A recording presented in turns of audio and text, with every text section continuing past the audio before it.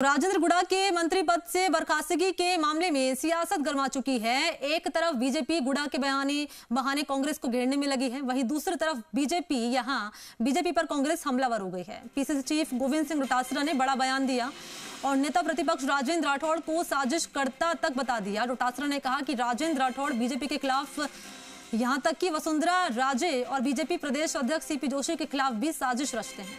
प्रदेश प्रभारी सुखजिंदर सिंह रंधावा ने कहा कि पहले भी दो चार बार ऐसी बातें हो चुकी थी।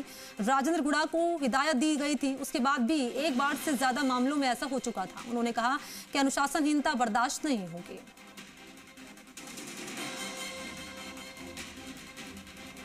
हमारे आदमी से आपने क्या साठ गांठ की?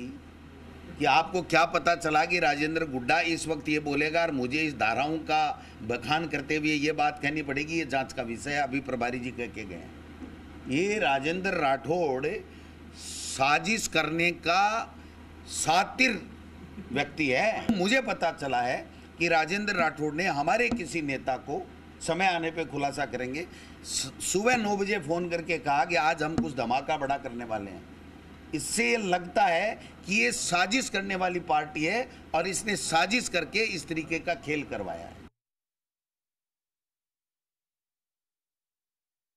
हमारे मंत्री जी, उन्होंने उठकर कहा कि मणिपुर को छोड़िए, राजस्थान की बात करिए, जैसी उनकी भाषा थी। और साथ ही साथ नेता जो अपोजिशन के प्रतिपक्ष के नेता हैं, उनका उसी टाइम रिएक्शन आना और विद उनके ऊपर के कौन सी धारा में ये लागू होता है और साथ कहना कि कैबिनेट में जो उन्होंने सबसे बड़ी बात की, कैबिनेट का मंत्री, राज्य मंत्री खड़ा होकर स्टेटमेंट देता है। इसका मतलब कि वो बिल्कुल स्टेट के गवर्नमेंट के साथ नहीं है।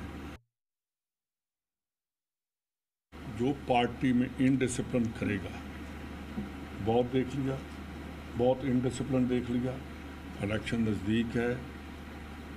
हमारा मुकाबला एक ऐसी पार्टी के साथ है जो डिसिप्लिन की बात करती है बीजेपी तो कांग्रेस में उससे ज़्यादा डिसिप्लिन है। कि अगर चीफ मिनिस्टर नहीं सुनते, आप उनके पास जाइए। नहीं सुनते, आप मेरे पास आइए। मेरे साथ बात करिए, मैं करूँगा और जो बात करनी है मैं मैं आप करूँगा।